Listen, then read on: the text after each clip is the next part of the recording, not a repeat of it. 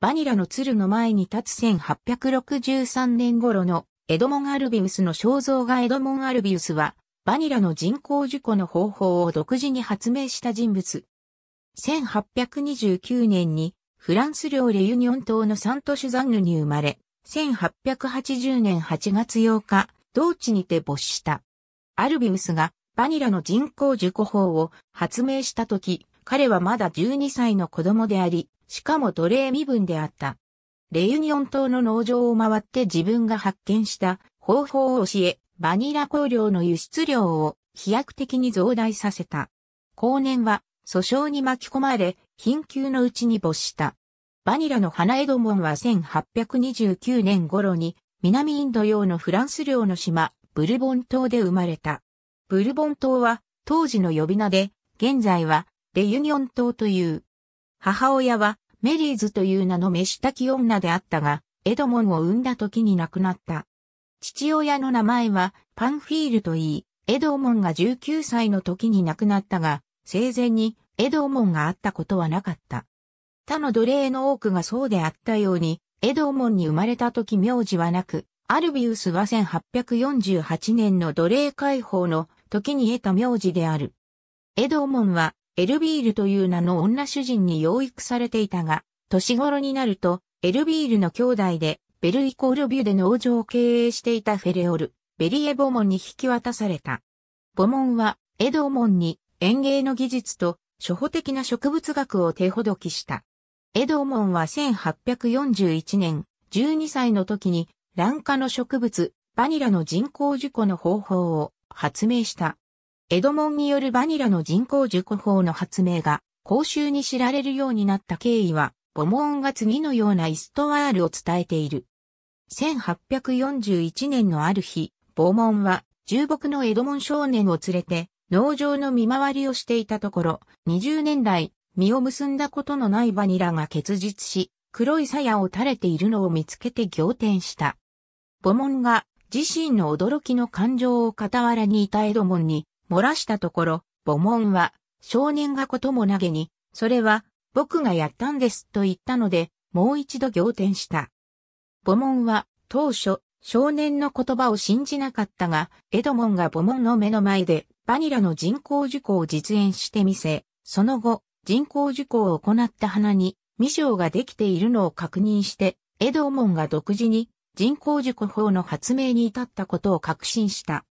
アルビウスはバニラの人工樹庫法を発明した当時、まだほんの子供であり、黒人であり、その上奴隷でもあったことから非常に妬まれた。発明直後から別の人物が自分の方が先に発明していたと主張する事態になった。サンドニのジャルダン・ドレタの植物学者、ジャン・ミシェル・クロード・リシャールは、自分がもともと育てていたバニラであるし、人工樹庫の方法も3、4年前から奴隷たちに教えていたと主張した。育て親のフェレオル・ベリエ・ボモンのほか、博物学者のウジェーヌ・ボルシ・フォカールやメジエールド、レペルバンシュらが未成年のアルビウスを積極的に擁護した。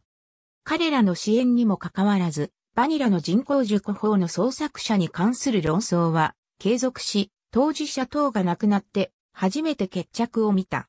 20世紀初頭の新聞記事においては、アルビウスが白人であると断言する誤った見出しすらあった。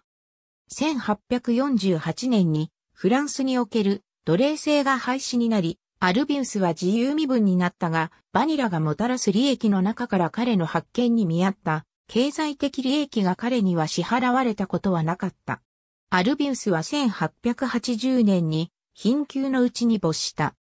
作家のミカエル・フェリエは、シンピシー・ポアール・ファントームという小説の最終章で、エドモン・アルビウスに触れ、これこそが典型的なフランスの黒人奴隷の一生だ。アルビウスは自らの手でフランスの歴史、いや全世界の歴史を変えるほどの働きをした。と書いた。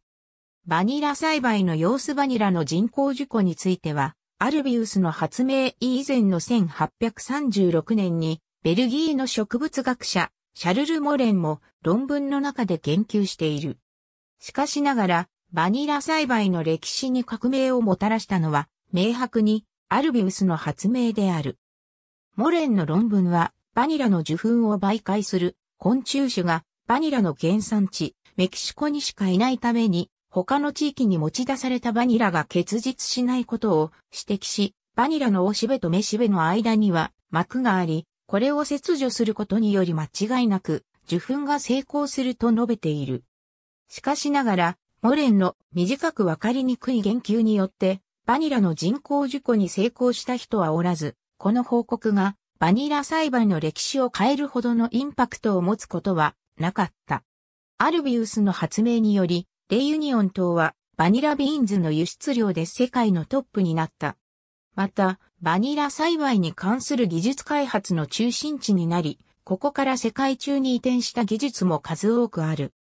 レユニオンから輸出されるバニラの量は人工熟法の発明以後7年間は毎年 10kg 程度であったが、ルピト・ド・フロリスが開発した方法が適用された後は輸出量が跳ね上がった。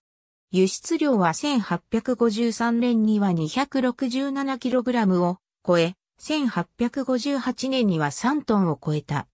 19世紀終わりには砂糖と同量程度になった。